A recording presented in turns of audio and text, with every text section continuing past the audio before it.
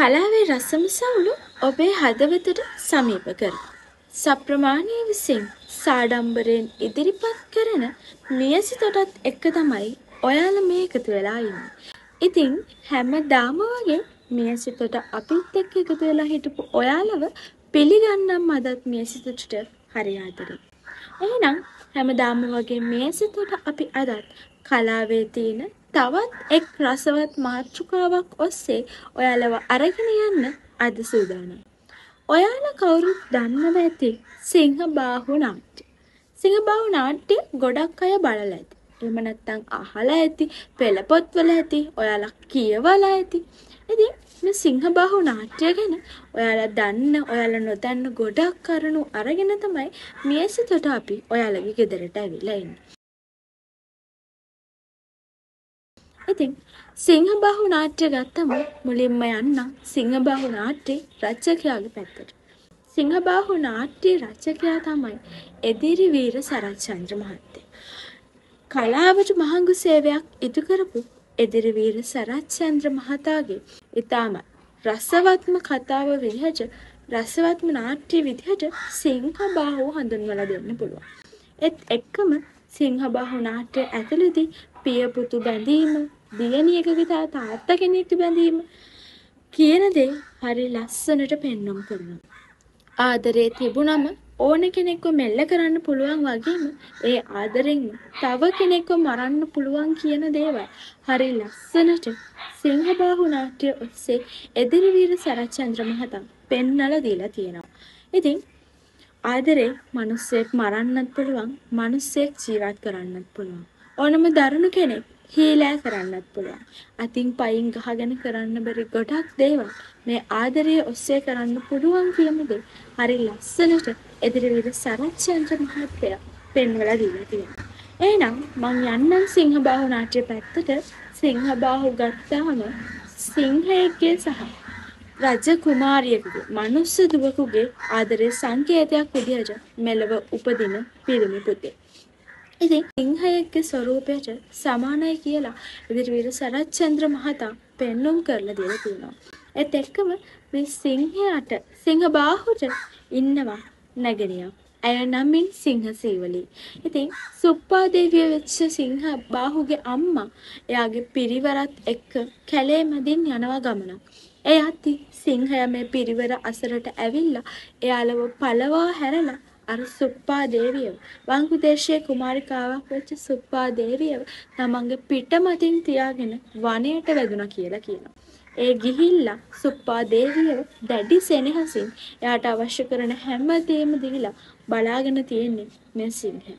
පසු කාලීනව මේ දෙන්නගේ ආදරේ සංකේතයක් විදිහට වැඩිමහල් පුතු විදිහට සිංහ බාහුත් බාලදියණිය විදිහට සිංහ සීවලියත් මෙලව එළිය දුටුවා. ඉතින් සිංහයා මොන්ට කොච්චර ප්‍රේම කරාද කිව්වතින් ඔවුන්ට අවශ්‍ය හැම දෙයක්ම කිසිම අඩුවක් පාඩුවක් නොකර මේ තුන්දෙනාට ලබලා දෙන්න සිංහට පුළුවන් වුණා. හැබැයි මේ සිංහයා මේ තුන්දෙනාට යම නැත්තම් සිංහ සීවලීට සුප්පා දේවියට හා සිංහ බාහුට එක නීතියක් දානවා. ඒ තමයි මොන දේ වුණත් මේ ලෙනෙන් පිටතට යන්න බෑ. ඒක බොහෝ දුරට කරන්නේ නැත්තේ ඒගොල්ලොන්ගේම ඒගොල්ලන්ට තියෙන ආදරයට වෙන්න පුළුවන්. ඒගොල්ලෝ නැති වෙයි කියලා බයට වෙන්න පුළුවන්.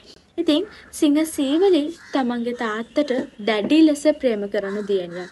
අන්න ඒ වගේම සිංහ බාහු තමන්ගේ මවට තමන්ගේ නැගණියට දැඩි ලෙස ආදරය කළත් තමන්ගේ පියාට තරමක් දුරට ආදරය කරන පුතේ.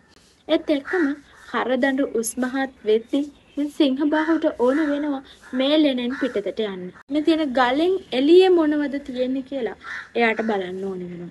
ඉතින් දවසක් සිංහයා එළියට යනකම් ඉඳලා එහෙම නැත්තම් සිංහ බාහු තමන්ගේ පියා එළියට යනකම් ඉඳලා තමන්ගේ මවට සහ නැගණියට යෝජනා කරනවා අපි මෙතනින් එළියට යමු. අපි යමු දේශයේ අගනුවරට. එහෙම කියලා. මුලින් මුලින්ම සුප්පා දෙවිය මේකට අකමැති වුණත් සිංහ සිහිවලි තරයේම අකමැති වෙනවා. ඊට හේතුව තමයි ඇය තම පියාට දැඩි ලෙස ප්‍රේම කරන දියණියක්. ඉතින් පසුව තම අයියන්ඩිගේ සහ තම මවගේ ඉල්ලීම මත සිංහ සීවලී කැමති වෙනවා ලෙනෙන් පිටතට යන්න.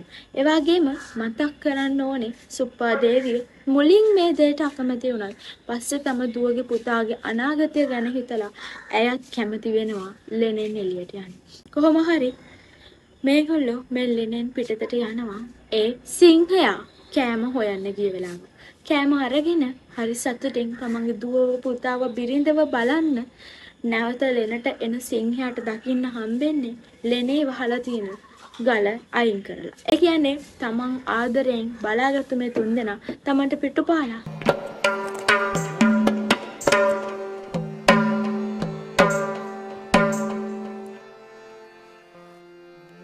ගල්ලෙන පිඳලා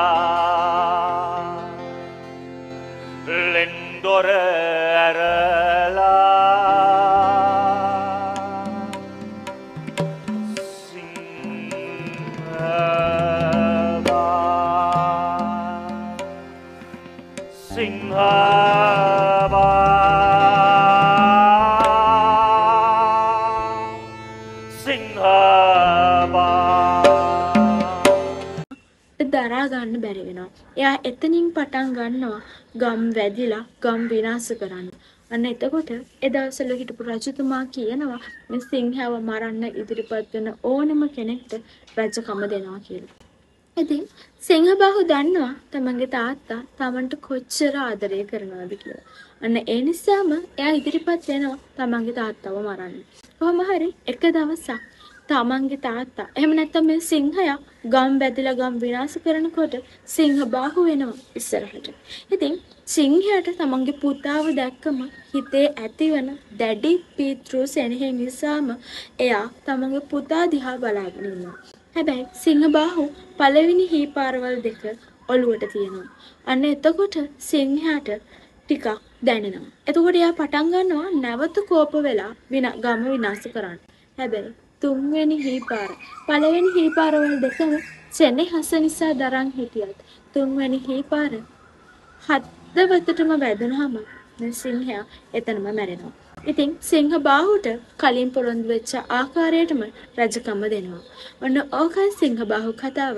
ඉතින් මේ කතාවේදී මම අර කලින් මතක් කරපු විදිහට එදිරිවීර සරච්චන්ද්‍ර මහත්තයා දරුවන්ගේ පියාගේ අතර තියෙන බැඳීම පෙන්වලා දෙනවා වගේම දරුවෝ කරදඩු උස්මහත් වෙද්දි පිටත ලෝකය දකින්න යද්දී තමන්ගේ ගෙදර අමතක වෙන තැන් ඕන තරම්. ඉතින් ඒ වගේම දියණියගේ පියාගේ ආදරය ආදරය කියන දෙයින් කරන්න පුළුවන් මොනවද කියන දේ එදිරිවීර සරච්චන්ද්‍ර මහතා හරි ලස්සනට පෙන්වලා දීලා තියෙනවා. ඉතින් හැමදාම වගේ අදත් රසම රස කතාවක් අරගෙන කලාවේ තියෙන රසම තැනක් අරගෙන ඔයාලගේ ගෙදරට ආපු අපි ලබන සතියෙත් එන්නම් ඔයාලගේ ගෙදරට.